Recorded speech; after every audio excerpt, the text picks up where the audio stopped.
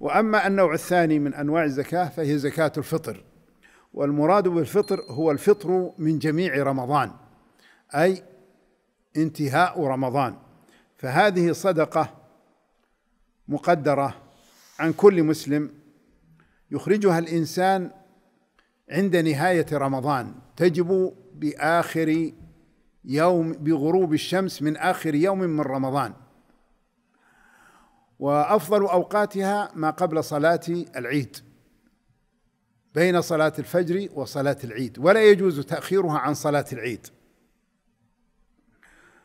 وهي واجبة على كل مسلم صغير أو كبير رجل أو امرأة غني أو فقير إذا كان واجدا قدرها في يوم العيد مما هو زائد عن حاجته وحاجة عياله ومن تلزمه نفقته.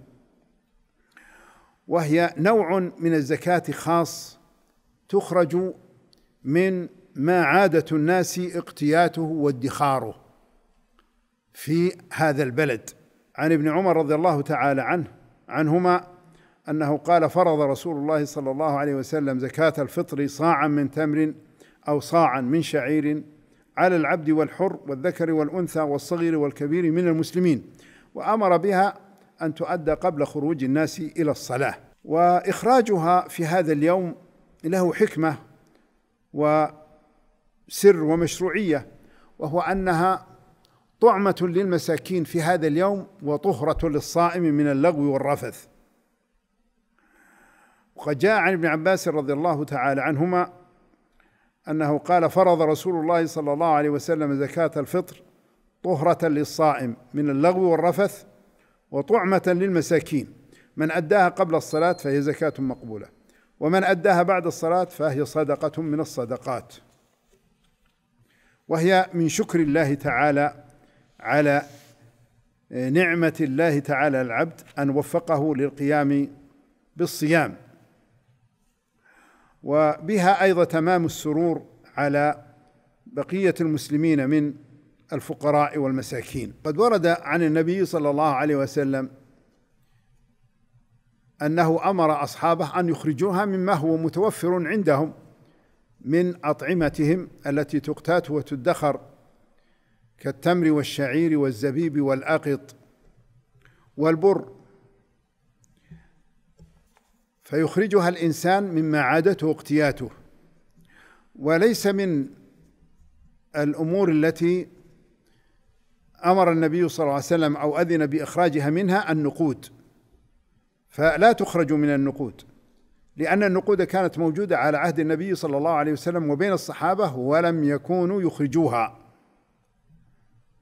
بينما أخرجوا الزبيب والأقط والشعير والتمر وما يشبهها مما هو يؤدي الغرض الذي تقوم به مثل الأرز والذرة والدخن والعدس وما شابهها.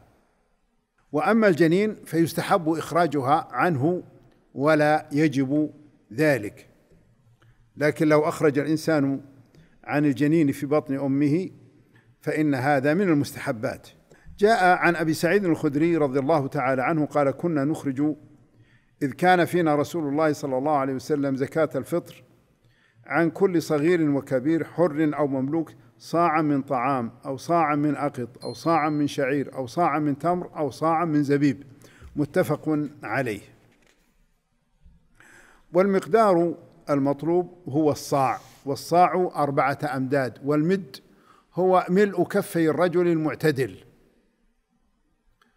فيملأ الإنسان كفيه جميعا أربع مرات. هذا يعتبر صاعا. ويقدر هذا بثلاثة لتر. فهذا هو مقدار الصاع. ويخرجها الإنسان يخرج الإنسان زكاة الفطر في المكان الذي هو فيه ليلة العيد.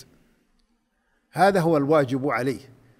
أما لو كان في بلد غير بلده وأهله في بلد آخر فوكل أهله أن يخرجوها عنهم وعنهم فإنه يجوز ذلك. لكن الأفضل أن الإنسان يخرجها في المكان الذي هو فيه ليلة العيد أي أنه أفطر من رمضان في هذا المكان فحينئذ يجب عليه إخراج الزكاة في هذا المكان. وقد ورد عن ابن عمر رضي الله تعالى عنهما أنه كان يعطيها الذين يقبلونها وكانوا يعطون قبل الفطر بيوم أو يومين متفق عليه. يجوز للإنسان أن يخرج الزكاة قبل العيد بيوم أو يومين لا أكثر.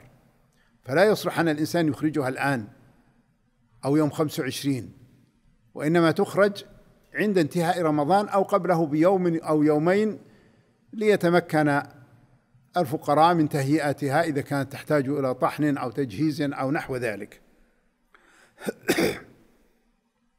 وأما أفضل أوقات إخراجها فهو قبل صلاة العيد.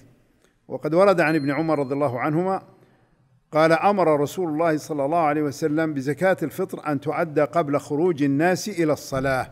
متفق عليه. والمراد بالصلاة هنا هي صلاة العيد. ولا يجوز تأخيرها إلى ما بعد الصلاة. لحديث ابن عباس رضي الله عنهما أن النبي صلى الله عليه وسلم قال من أداها قبل الصلاة فهي زكاة مقبولة ومن أداها بعد الصلاة فهي صدقة من الصدقات. رواه أبو داود.